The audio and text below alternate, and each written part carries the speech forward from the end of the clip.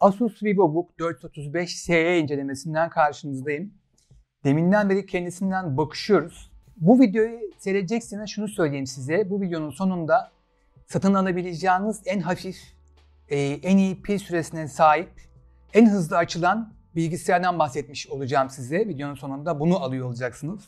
Çünkü enteresan bir şey var. Şimdi Asus'un bu modeli Intel'in Evo tanımının, Evo programının içerisine uyan bir notebook. Peki Intel'in Evo'su nedir? E, Intel'in Tiger Lake işlemciliği için ortaya koyduğu aslında bir standartlar listesi bu. Şu anlama geliyor.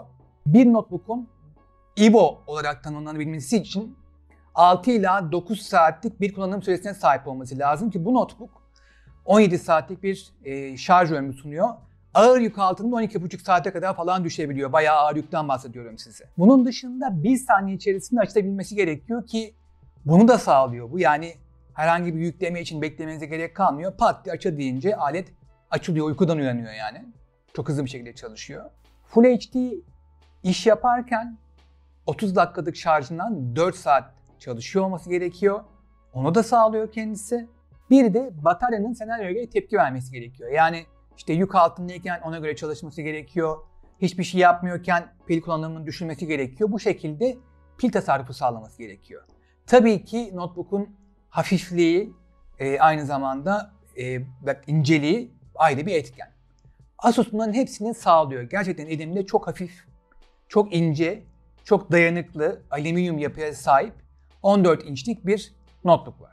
Asus 435 N'in üzerinde herhangi bir şarj girişi bulamıyorsunuz. Çünkü şarjını sol tarafında bulunan Type-C portundan, Thunderbolt'tan alıyor. İki tane Thunderbolt girişi var sol tarafında. Bir de HDMI çıkışı var.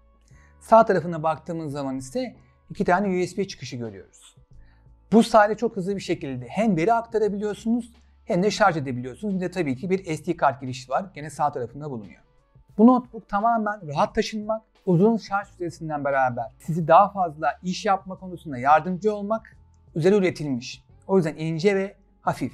Asus'un üzerinde 1920-1080 çözünürlüklü bir IPS ekran var. Parlak, e, yerlerde bile rahatlıkla kullanabileceğiniz çok başarılı bir ekrana sahip. Yani bununla bir film seyretmek istiyorsanız, bir sunum hazırlamak istiyorsanız bunu rahat bir şekilde yapabilirsiniz. Ama iş oyun kısmına geldiği zaman çok böyle hani casual dediğimiz oyunlar dışında bu notebook'ta oyun oynama imkanınız veya ağır bir tasarım yapma imkanınız yok. Bunu bir kenara mutlaka yazın. Yani bu sizin çantanızda çok yer tutmayacak, çok gezen iş adamları için düşünülmüş veya öğrenciler için düşünülmüş diyebiliriz. Ama iş biraz daha grafik kısmında zorlanmaya girdiği zaman bu notebook sizin alanınızın dışına çıkıyor. Buna rağmen başarılı bir konfigürasyonu var. Hem işlemci hem RAM hem de depolama tarafında.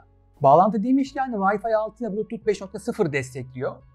Kablosuz bağlantı tabii ki yapabilirsiniz. Beraberinde herhangi bir şekilde e, kablolu bağlantı yapabileceğiniz bir parça çıkmıyor kutusunun içerisinden haberiniz olsun. Performans tarafındaki skorlara baktığımız zaman da gene notebook'un e, üzerine bulunan konfigürasyonunu tam olarak destekleyen arkasında durduğunu görüyoruz. Rakiplerinden kıyaslarsak diğer markalara baktığımız zaman pil ömrü bakımından çok hafifçe geçebilen bir belki marka vardır veya yoktur ama aralarında çok büyük bir fark yaratmıyor açıkçası ama tasarım bakımından, dayanıklılık bakımından Asus gerçekten kendini ön plana çıkartıyor. Gayet başarılı bir notebook elimizde. Peki klavye kısmına gelelim. Klavye kısmında tuşlar geniş herhangi bir numerik klavye yok üzerinde. Zaten ufak olması da e, buna bir yandan sebep oluyor. Numerik klavye eklememişler. Ses kısmına gelince onu size biraz dinleteyim.